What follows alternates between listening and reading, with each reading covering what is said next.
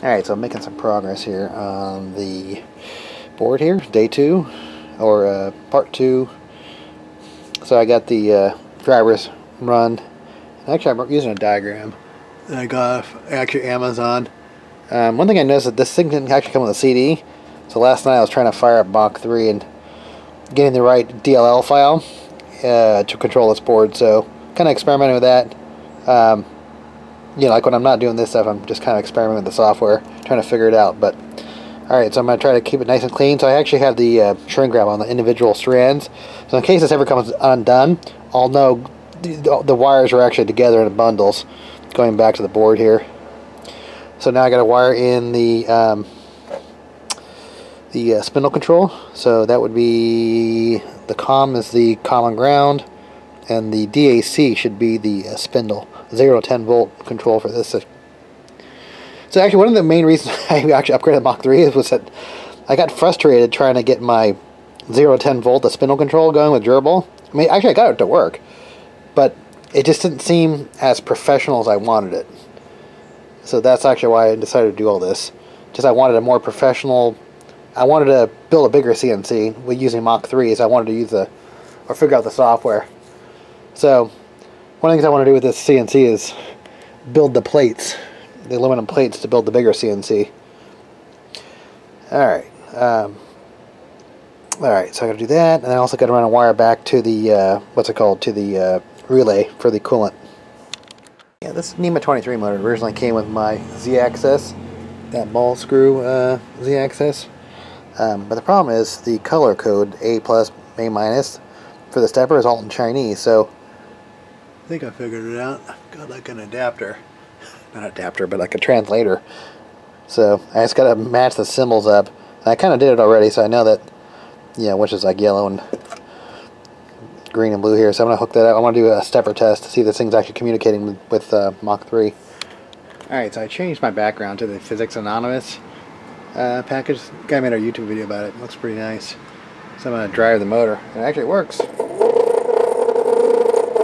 Not very pretty damn noisy though.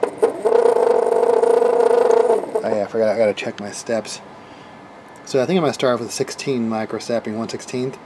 Um, yeah, because the higher you go, I mean, it's be so, so there's a trade-off between resolution. If you're not familiar with micro stepping, I learned about this in 3D printing.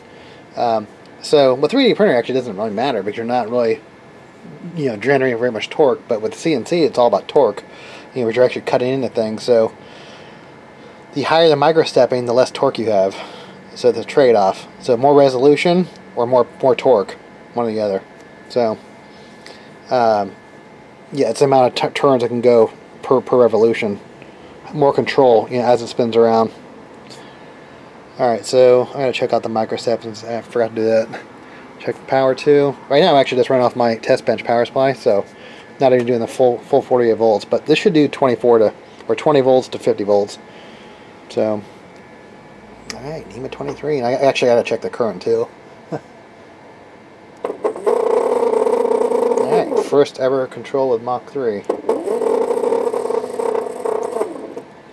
Alright, so without this XML file, the pinouts, I, I, mean, I got some of the pinouts to work, um, you know, using some other brand of uh, stuff on it, but, you know, with any sort of like Arduino or Marlin 3D printer board, or even this board, because this actually runs a 32-bit ARM processor, that I'm trying to enable output 4 here, but the pin configuration of Mach 3 I don't think is correct, because when I enable it, it's not enabling this thing. So I believe these are optocouplers right here, so isolates it.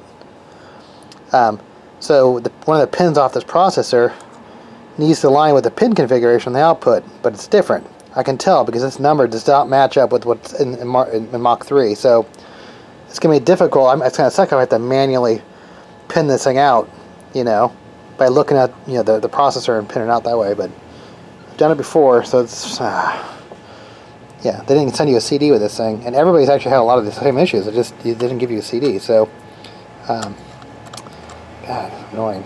So, alright, so I got the relay figured out. Take a look. Coolant. Hear the clicking. So what that relay does is when I activate it, it sends 110 back to this uh, AC outlet here, and that enables this pump right here. My air pump to blow debris out of the uh, cutting channel. Alright. Let's do a uh, real test here. So powered on. Have it hooked up to my bubbler here. We'll do a coolant.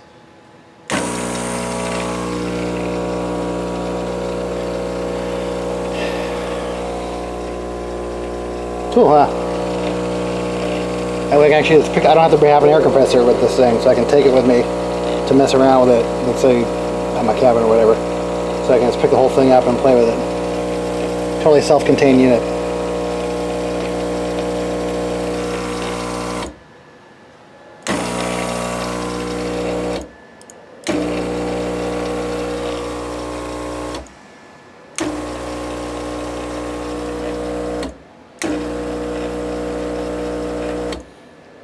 Alright, so now I can get the uh, control box mounted.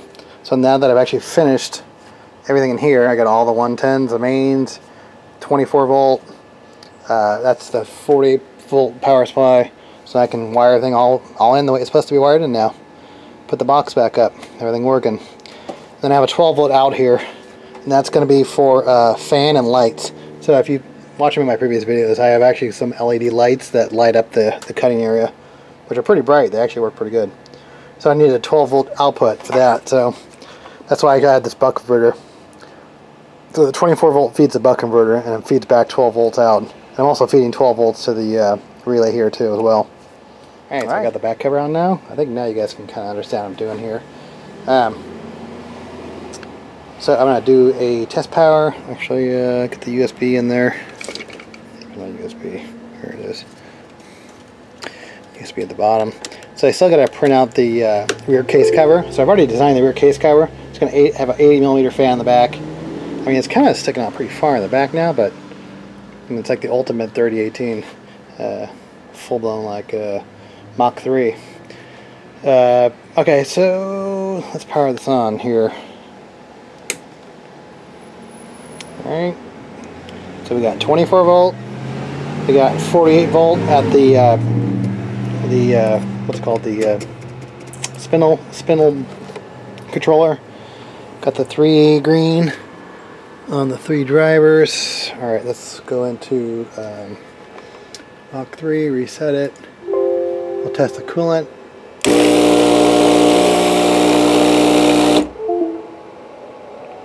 It is weird how it goes. Oh, I had the same issue with my thing where it would shut off USB connectivity. That's usually, uh, but I have an optical isolator now, so it shouldn't be an issue. I'll have to figure that out. Let's see if we can still turn the spindles. Spindle's still working. So that NEMA 23 is going to go to the top and control, control the Z-axis.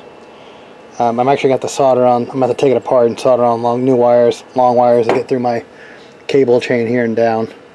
I mean, it's pretty far back now, so um, I might have some issues with the spindle motor here.